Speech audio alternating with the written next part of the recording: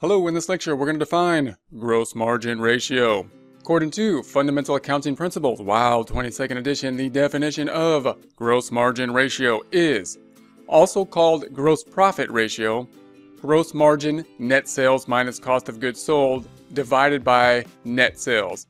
So what we're talking about is a term gross margin ratio that also can be described as the gross profit ratio. It's going to be a calculation, it's going to be a ratio. That ratio being net sales uh, minus cost of goods sold, which is equivalent to the gross margin, also called the gross profit, divided by the net sales. So we're taking the gross margin number, dividing it by net sales. Remember that net sales does not mean net income we're talking about net sales, basically the sales number, meaning revenue minus the contra sales accounts, sales allowance, and discounts. So if we did a calculation, we'd say sales, and again, that means net sales. This is the total sales number in the sales section of an income statement minus the cost of goods sold. That would give us that gross margin number, in this case, 25,000 number that's typically on the top of a multi-step income statement.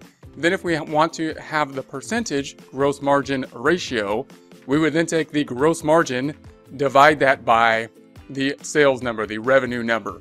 And in this case, that would be 25,000 divided by the sales number of 100,000. 25,000 divided by 100,000 would give us 0.25. Move the decimal place over two places and add a percent sign gives us 25%. So that means that for every dollar, we're getting basically 25 cents on every dollar sale after cost of goods sold. We often represent that. We could represent that by saying, here's the 25% uh, ratio, the gross margin ratio here, and we can compare that to if we take sales over sales, obviously that would be 100%.